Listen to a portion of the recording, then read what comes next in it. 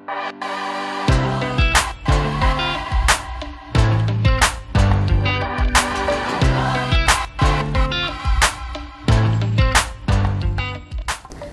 yang dilakukan waktu puasa?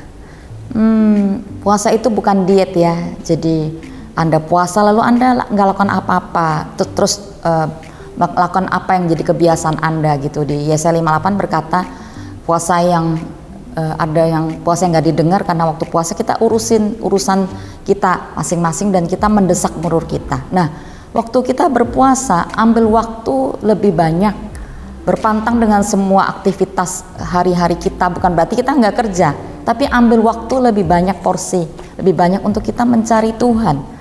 Tambahkan waktu untuk memuji menyembah tambahkan waktu membaca firman firman yang itu mungkin miss dari hidup kita yang sering kali itu memang banyak orang berkata iya kurang berdoa ya kurang mencari Tuhan kurang baca firman nah di hari puasa kita kita menyadari bahwa kita butuh benar-benar untuk masuk mendekat kepada Tuhan, mencari Tuhan.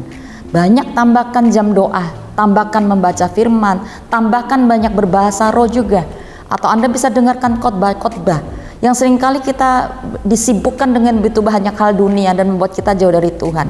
Dunia ini sedang benar-benar menarik kita, ya dengan ilah-ilah zaman yang ada dengan berbagai macam gitu kita bisa buka YouTube dan di situ Anda tinggal mau akses mana anda bisa mengakses yang namanya perkara-perkara rohani, kita akan dengarkan banyak khotbah-khotbah yang baik atau kita mau masuk ke dalam channel-channel dunia yang sering kali membawa kita itu mungkin nggak dosa awalnya.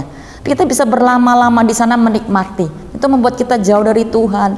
Kita nggak bisa lagi mengalami yang namanya sebuah waktu-waktu berharga di mana kita butuh yang namanya persekutuan dekat dengan Tuhan dan mengalami yang namanya membangun kehidupan rohani kita dengan kuat.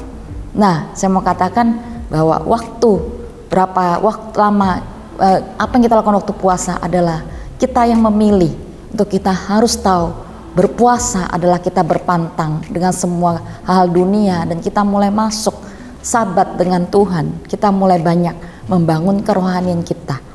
Dengan demikian saya yakin kita akan mengalami kekuatan rohani. Kita waktu apa yang kita bangun itu akan menjadi kuat dalam hidup kita.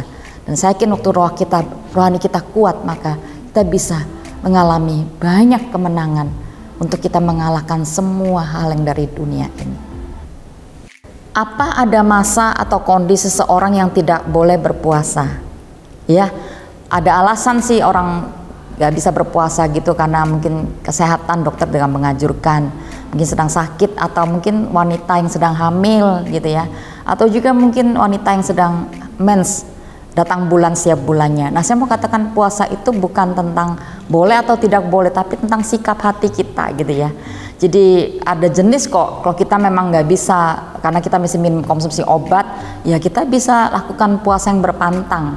Untuk kita mungkin apa yang kita suka, makanan kita sudah makan minuman kita candu mungkin.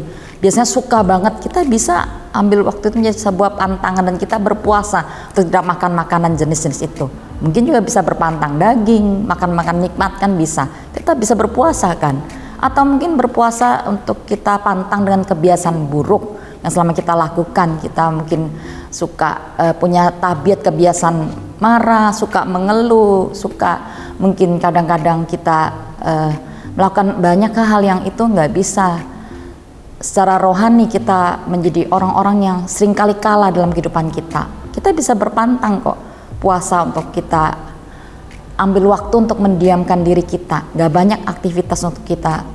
Marah mengeluh dan kita mulai benar-benar berpuasa untuk semua kebiasaan yang buruk atau mungkin kita bisa berpuasa untuk semua kebiasaan hobi-hobi kita ya. Mungkin kita orang yang suka nonton ter, terikat games dan terikat begitu banyak hobi-hobi yang itu bukan dosa mungkin tapi kita terlalu lama di sana menikmati.